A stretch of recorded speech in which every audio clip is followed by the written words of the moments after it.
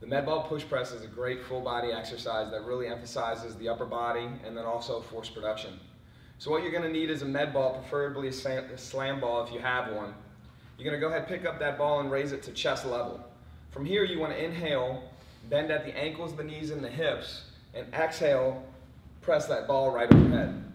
Now here's a couple of things that you wanna watch out for. Number one, try not to hit the ceiling. Number two, please be aware of the ball coming down, okay? A lot of people tend to forget that the ball is coming down and there's gravity. And you don't want to get in the, hit in the face with this. So perform for the prescribed amount of reps and have a great workout.